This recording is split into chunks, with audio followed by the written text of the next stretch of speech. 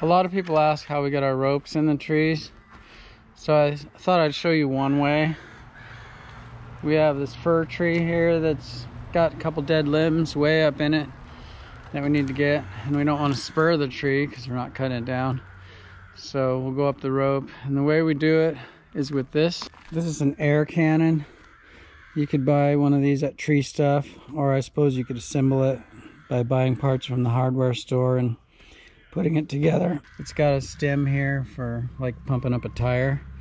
And you get yourself a pump that'll go up to 180 or 160 or 200 pounds or something like that. And you fill up this chamber with air. Then you put the throw ball in this side and then you point it and you swing that valve. It's kind of a rough trigger pull if you're a marksman, but it's doable with practice. Oh, I, okay, cool.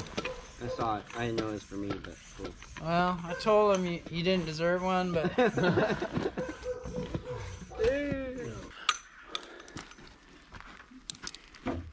so Damien's climbing it, so so he'll he'll get the first miss. what happens with the air cannon often is you're firing up in there and you hit a limb and the Yeah. And then the bean the bean bag bounces out. Oh, look at this hero moment for Finn's shirt.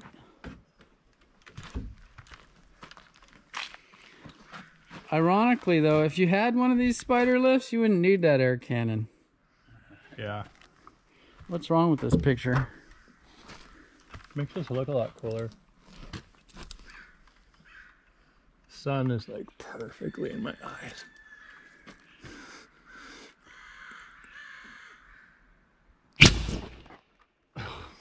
Bird's nest. Round two. Far. That's pretty far out the limb. Pounds of air pressure.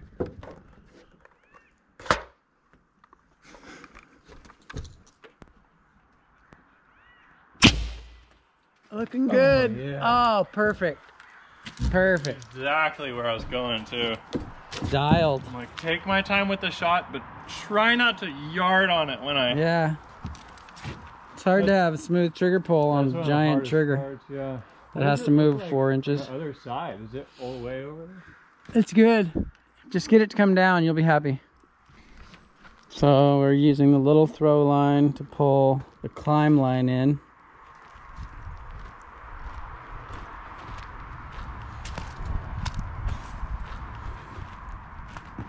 This is the climb line. YouTube probably can't see, but there's the throw ball on its way back down now. Pulling the throw line still up and over those limbs.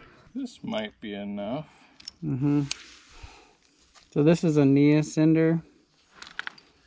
So he has an ascender for capturing progress on the rope as he moves his knee up. See I can uh, I can get set and then better show it too in slow motion a little we'll bit. show it. I just gotta get my uh I gotta get off the ground. Watch out just in case I slide. And then he has a foot. And he has a foot ascender here. Ghetto one. Don't mind the ghetto-ness. So you hook the foot ascender low.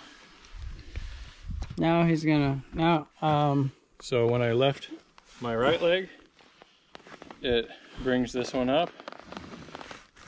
And then I lift, lift my left leg and capture my right, left.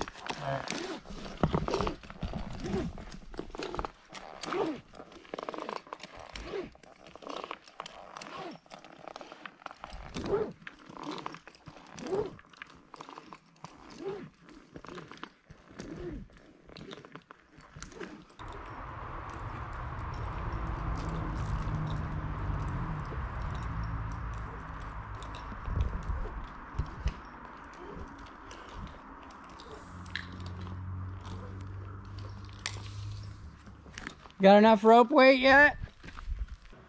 So that's called rope walking, YouTube. It only took less than a minute. So it's pretty handy dandy. And we're not poking holes in the tree with our spurs or anything because that's frowned upon by some. I personally don't think it would hurt the tree, but we do industry standard work. We we kind of follow the collective uh, standards of the entities that make decisions about those types of things. I'm not a dogmatic uh, activist of any kind. I wouldn't criticize a guy for spurring that tree to cut those dead limbs off, but we won't do it just because somebody won't like it. And heck, it's pretty easy to go up the rope too, so you know. Morning, YouTube. So, me, August, and Jeff, we're gonna go ahead and get started on this fun little uh, uprooted madrone slash falling puzzle. Uh, meanwhile, Adam and Wyatt got sent to go prune this very small dogwood tree where there shouldn't really be any issues. And uh, they just called saying the lady needs to talk to somebody that, um, I don't know, maybe she thinks is more official or something. I'm not really sure because it's something that they can go do and they are every bit of capable of doing. So we're gonna go take a look at this tree and try and figure out how it ended up becoming the the real puzzle of the day. Yeah, sometimes people sometimes people need they need a confident person doing their you know, her tree she like probably loves the thing. And um and they sometimes people have mixed like they don't have knowledge of what needs to be done, but they have an idea that they think, and then if they don't see it happening that way, and they start questioning you, and then if the guy that's doing it isn't 100% sure of his prowess, like leaks out. Anyway, I don't know what's going on, but I guarantee I I got the recipe for every tree. Huh? Probably every tree. I'd say Every so. dogwood. I'd say so. You could come up with something real quick, I'm sure. Yeah. Well, let's see what happens. We might not be able to film it. We might just have to talk to you about it later because, you know, we don't want to like, like go, uh, go creeper cam on a little old lady. That just really wants a nice haircut. Um, on the plus side, though, we are like four, mm, let's call it six blocks from the other job, so going over there really isn't too much of a hassle. So a little dogwood, a brand new F550, a brand new Vermeer chipper, and five guys. That ought to, that ought to do it. That should do it. Steven Stark. Maybe we all show up and act pretty um, unconfident of what we should do with the tree. No, that's a crepe myrtle. yeah. Nah, we're gonna we're gonna get to the root of it, the problem, and make this lady all cuddly and warm somehow. She's gonna be happy and she can uh, start marinating the Thanksgiving turkey yeah. a couple weeks ahead of time. Am I there yet? Uh, yeah, take this left. Okay. So we started the video at the beginning of leaving the other job and we are just showing up to the other job. I wonder if I'll recognize this place. So it's that little dogwood right there. That? This one. I'm gonna say. Oh, that looks like maybe it's a red bud. Nope, it's a dogwood. That's funny because right when we started pulling up, I kind of started thinking that. I was like, wait, no, we're good. We're good. All right, YouTube. Checking back in, driving through the school zone. Um, so we went to the job. Wyatt and Adam were standing around looking at us like, please help. The lady came out and you could tell she was a little disgruntled. Um, but there was a bit of maybe not the usual case where there was some root girdling um, in the bottom section of the trunk, so it was causing some other bigger dead limbs to start dying off. Um, but that's kind of something uh, that not just everybody would know, so I think maybe the guys were a little opt to tell her um, that. They kind of didn't know the routine. Yeah, They didn't know what had to be done for that particular tree, which made them not be confident, which made her detect it. And she was right. she, her sensors were on. She's all, who are these scrubs? I. I just think that they're like Yeah. not experienced or something. Mm, And you know, these guys, they're awesome guys.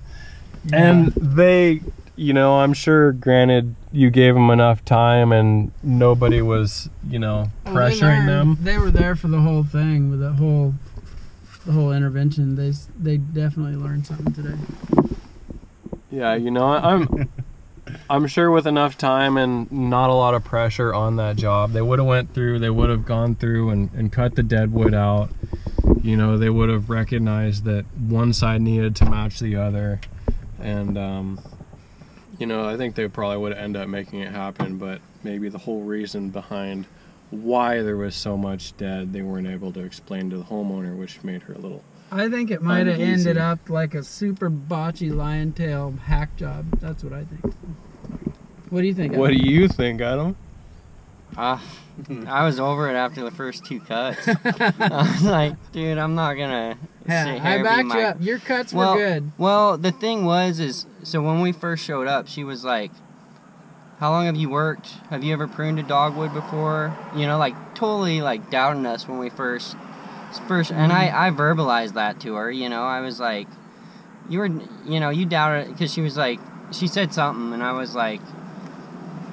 You doubted us when we first walked up to the door. I was like, you asked me if I've ever pruned a dogwood or if, you know, if I've ever pruned a tree before. So I was like, it has nothing to do with my cuts. I was like, you were judging us when we first got here. Hmm. And so I was like, that's See- why I only made two cuts and put this pull saw down and let Wyatt deal with it. And then Wyatt, you know, he was cutting the suckers off, which is like the same ones that you were cutting off. Mhm. And she was like, don't cut that one off. It's going straight up. And then, you know, he was like, well, what, what ones do you want us to cut then? You know, what, what, what do you want us to do here? And she kind of was like, uh, you know, and I was like, well, we'll get Damien August here then. So you know what? You know what healed it? What's that? This pizza. Uh, explaining to her what was wrong with that particular tree Okay. put the put her totally at ease. Yeah. because she had With with the root, root yeah the root was the, girdled. One side was going to keep dying back. It was going to be a bad scene. So we so it would have looked bad if you didn't tell her because if you cut back the side that's it that's dying and you can't help that it's going to die the rest of the way later well then later they look at your cut on the limb that And died it's- and they think that because you cut it wrong it died when Right. really it's a problem from the root zone up from the get go, right? yeah anyway telling them being able to Explain articulate exactly what's wrong with it and what it needs then they're just that. comforts them or gives them confidence. well her some people are nuts. Yeah. but she was she wasn't Yeah. but she was definitely I, I felt like from when we got outside of the truck and walked towards the I mean it was like the being judged. You know. yeah I mean so what do you maybe think? it was in my head, I don't know, but you know, when they ask you questions, have you ever pruned a dogwood before? And like that's like the first things that come out of their mouth. I mean it it's kinda like okay, you have no faith in me. Yeah. But did she have any credit credence for that? I don't think so. I mean, No. yeah, I mean, it was literally, um, I mean, yeah, we were walked up to the door with with pretty much the gear ready to go. I mean, we were gonna knock on the door, and she came out, and um, So, the truth is, you would not harm the tree. You would have done what we usually do, I feel, s- but you probably wouldn't have done it as verbally, to the to the detail that No. we ended up with, or she wouldn't have gotten the tree science part of it in her head. Mm-hmm. So, yeah, I think that's definitely what eased her mind. It was just the knowing why and where the problem. we were doing the pruning and understanding why there was so much of that live kind of somewhat gangly stuff left behind is because we're trying to leave too bad we can't show the tree. What a great lesson it would be to be able to show how. So basically, roots girdled on one side made one side of the tree be starting to die out, and and so it was like half alive, and so you got to take this big shark bite out of that side in order to get down into some good stuff, which makes the other side look whack.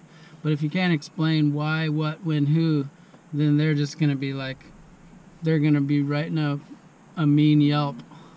yeah. Mm-hmm. But right now, she's pretty stoked. I'm gonna go seemed buy a. Red Bull. yeah, I'm gonna go drink. I already got some pizza. August is going in the store with his hard hat. All right, I'd say today was a pretty good learning lesson. Have any of you other tree guys ever had a situation where you send two guys to the job, they call you and need a little backup? Anyways, comment below.